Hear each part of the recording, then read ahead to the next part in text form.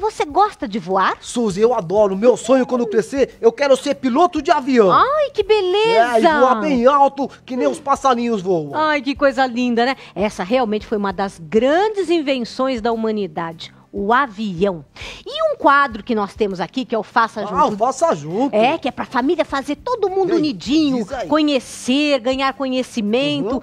Foi justamente nesse momento que o Leandro Barbosa foi até este museu, que é o Museu da TAM, o Olha. maior museu de aviação do mundo, que é mantido por uma entidade Olha privada. Só, Olha, esse museu foi fantástico, viu? Tem lá várias, tem a réplica do 14 bis. Você ah, sabe quem foi? Eu sei, o 14 bis é do Santos Dumont não é? Muito bem, ah, exatamente. Tem a réplica lá? Tinha a réplica. Agora, todos os outros em aviões... Em tamanho real, será, Suzy? Em tamanho real. Hum. Você vai ficar encantado. E lá também tem outros aviões. Tem monomotor, o Cessna, né? Que era justamente dos irmãos Amaros, que foram os fundadores da TAM. Ah. E também tem vários aviões lá, sabe, todos restaurados, que realmente participaram do momento histórico. Olha, avião de guerra? Avião de guerra também, aviões de passageiros, tudo isso, tudo para homenagear, ah, na verdade, legal, este grande homem brasileiro que foi o Santos Dumont que criou, na verdade, essa possibilidade da gente chegar em vários lugares, tudo com o nosso aviãozinho. Você quer conhecer o Museu uhum. da TAM? Eu estou muito ansioso, Suzy. Você também deve estar, não é? Então, roda VT, vamos roda ao VT. Museu da TAM. Roda o VT que eu quero ver.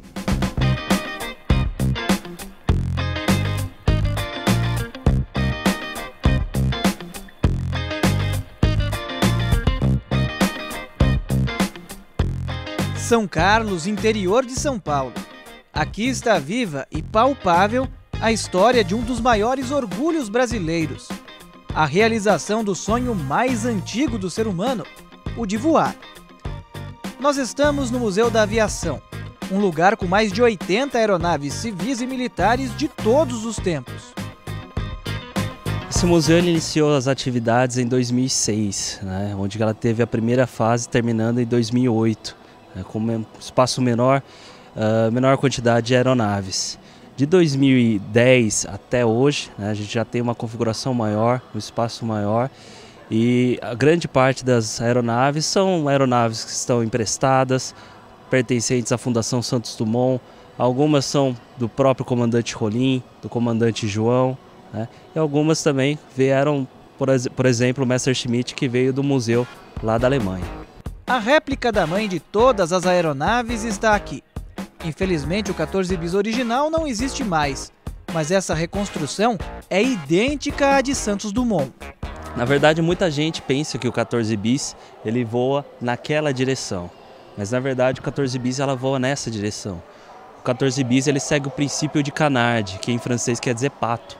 Né? Então a gente pode pensar no 14 bis como sendo um grande pato, as longas asas, né, o pescoço e a cabeça aqui na frente. Ele ficava ali naquela cestinha, né, onde de pé, onde com as mãos ele controlava o leme e o profundor, que é essa caixa aqui da frente. Né? Ou seja, dava a direção para ir para a esquerda ou direita, subir e descer. E com o corpo ele vestia um colete, onde que dois pedaços de madeira em formato de T né? e cordas que ligavam o colete até os ailerons, aquelas estruturas entre uma asa e a outra, ele tombava um corpo para um lado ou tombava para o outro e assim ele controlava o movimento de giro longitudinal da aeronave. O curioso disso tudo é que Santos Dumont demorou muito para voar no Brasil. E, ironicamente, o primeiro a levantar voo em terras tupiniquins foi um francês, a bordo desta aeronave em Osasco, na Grande São Paulo, em 1910. Este avião tem muita história. Um Savoia Marchetti, modelo italiano, que aqui no Brasil ganhou o apelido de Jaú, uma homenagem à cidade do interior do estado de São Paulo. Bom, isso porque o seu dono, João Ribeiro de Barros, era um jauense e em 1927 ele conseguiu um feito histórico: cruzar o Oceano Atlântico, da África até Fernando de Noronha, sem fazer nenhuma parada em navios. Já este Cessna da década de 60 tentou uma viagem bem mais curta, entre o Mato Grosso e a Bolívia, mas infelizmente o voo não chegou ao destino final. Esse é um Cessna 140 que pertencia a Milton Terra Verde e ele, acompanhado de seu cunhado Augusto, saíram do Brasil e foram em direção à Bolívia, né? Devido ao vento, né, devido aos problemas que tiveram no voo, ele foi obrigado a fazer um pouso de emergência no meio da selva boliviana. Né? O Milton ele conseguiu sobreviver sozinho, né, praticamente, porque o seu o cunhado havia falecido ao beber o combustível da aeronave durante 70 dias. Né? Ele foi encontrado dentro do avião, abraçado ao seu diário. E esse diário veio a se tornar um livro que se chama O Diário da Morte de Milton Terra Verde. O museu também tem um grande acervo de aviões militares. Esse caça americano foi usado durante a Segunda Guerra Mundial. A pintura dele servia como uma camuflagem para confundir os inimigos. Visto de cima, ele se misturava com o mar. De baixo, ficava semelhante ao céu. Esse modelo alemão foi o mais utilizado na guerra. O detalhe que fazia toda a diferença era que já havia sincronia entre a metralhadora e a hélice, o que evitava que as balas derrubassem o próprio avião. Os brasileiros também usaram aviões contra os nazistas. Um deles foi esse, do Esquadrão Senta a Pua. Já em tempos de paz, a Marinha usou esse helicóptero durante a década de 50 para fazer resgates em alto mar. Há quem diga que ele também foi utilizado para detectar possíveis ameaças vindas de submarinos. E de volta aos aviões civis, não faltam episódios marcantes. Este Cessna 140 carrega mais do que histórias. Ele pertenceu à paulistana Ada Rodato, a terceira brasileira a tirar o brevet de piloto. Com ele, ela partiu do Rio de Janeiro e deu a volta em todo o continente americano. Foram oito meses, 28 países, 51 mil quilômetros, 319 horas de voo. E a cada parada, ela pedia para as pessoas escreverem mensagens de esperança na lataria do avião.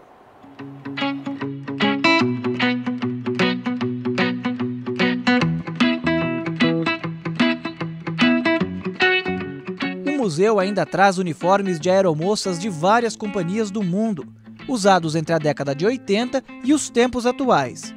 Um acervo constantemente ampliado, que em breve pode se tornar um dos maiores museus de aviação do mundo. Ainda temos diversas aeronaves para serem expostas, né, que elas estão em áreas para recuperação, né, o reparo das aeronaves. Né. Agora o problema será encontrar mais espaço para receber todas elas. Né. Mas esse é um projeto futuro, quem sabe.